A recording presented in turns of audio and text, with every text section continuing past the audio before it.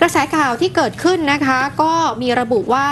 นายชวนหลีกภัยค่ะ ประธานที่ปรึกษาของพักโทรศัพท์ไปพูดคุยกับพลเอกประวิทย์วงสุวรรณรองนายกรัฐมนตรีนะคะ ว่าจุดยืนของพรรคประชาธิปัตย์จะไปร่วมรัฐบาล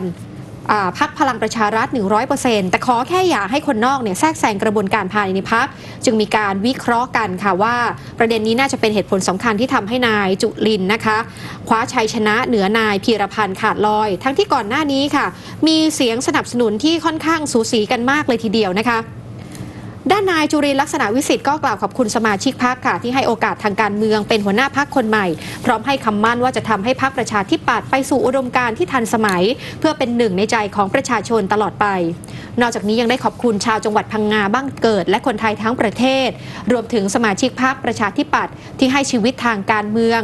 ขอบคุณในชวนหลีกภัยนะคะในบัญญัติในบัญญัติบรรทัดฐาน และนายอภิสิทธิ์เวชชาชีวะค่ะ ที่ให้โอกาสตนในการพิสูจน์ผลงานทางการเมือง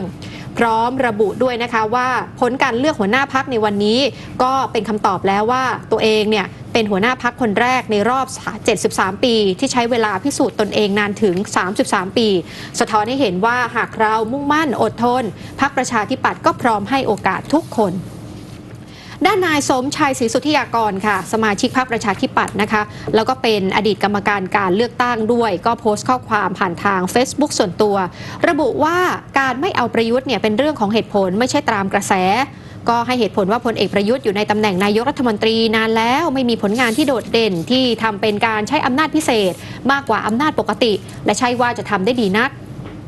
เส้นทางของพลเอกประยุทธ์เป็นการกระทำที่ไม่ได้มุ่งหวังให้เกิดสิ่งที่ดีแก่บ้านเมือง ไม่ว่าจะเป็นการร่างรัฐธรรมนูญ เปลี่ยนกกตยกชุด สร้างพรรคการเมืองที่ได้เปรียบจากนโยบายและโครงสร้างของรัฐ ดูดนักการเมืองที่ออยู่พรรคอื่นนะคะ ใช้ความได้เปรียบในฐานะรัฐบาลในการระดมทุนหลายอย่างที่เกิดขึ้นไม่มีใครจัดการได้ เช่น เรื่องแหวนแม่นาฬิกาเพื่อน การยกย้ายตำรวจที่ใกล้ชิดแบบไม่มีเหตุผล บุคลิกภาพวุฒิภาวะ การให้เกียรติผู้อื่น และลงท้ายบอกว่าไม่เอาก็คือไม่เอาชัดไหม